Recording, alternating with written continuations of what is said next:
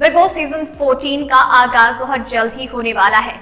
लेकिन अंकिता लोखंडे इन दिनों काफ़ी चर्चाओं में बनी हुई है। और विषय है, सुशांत सिंह राजपूत के मौत की गुत्थी। जी हाँ जब से उनकी मौत हुई है, तब से बहुत सारी खबरें सामने आई और अंकिता लोखंडे लगातार सुशांत को डिफेंड करती हुई नज़र आई है और हमेशा कहती हुई नज़र आई है कि सुसाइड नाम बोलकर उनको इंसल्ट मत करो, उन्हें डिप्रेस्ड पर्सन बोल के उनकी इंसल्ट मत करो। अब इसी बीच में मेकर्स ने उन्हें कॉन्टैक्ट किया है और लगातार कॉन्टैक्ट रहे हैं और अच्छा खासा अमाउंट भी उन्हें देने के लिए रेडी है। लेकिन अंकिता का इस पर अभी तक कुछ भी क्लियर जवाब नहीं आया है, क्योंकि वो चाहते हैं कि जिस सिचुएशन में और जिस तरीके का माहौल अंकिता अंकिता घर के बाहर क्रिएट कर रही है। वैसा ही कुछ बस वो घर के अंदर आए और अपने और सुशांत के रिश्ते के बारे में बातचीत करें, ताकि शो को टीआरपी मिले।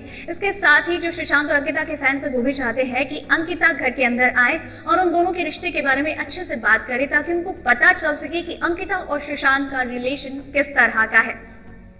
आपको बता दें कि जहाँ एक तरफ़ कुछ लोग चाहते हैं कि अंकिता शो का हिस्सा हो तो वहीं कुछ लोग ऐसे भी हैं जो सुशांत के केस की वजह से काफ़ी ज़्यादा परेशान हैं और वो नहीं चाहते कि अंकिता शो में हिस्सा ले। और सलमान खान के साथ काम करे।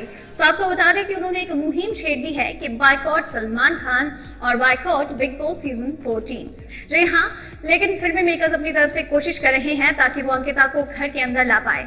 उनका जो भी फैसला होगा, इसकी जानकारी हम आप तक सबसे पहले पहुंचाएँगे। इसलिए हर एक अपडेट के लिए चैनल के साथ बने रहिए। अभी के लिए धन्यवाद।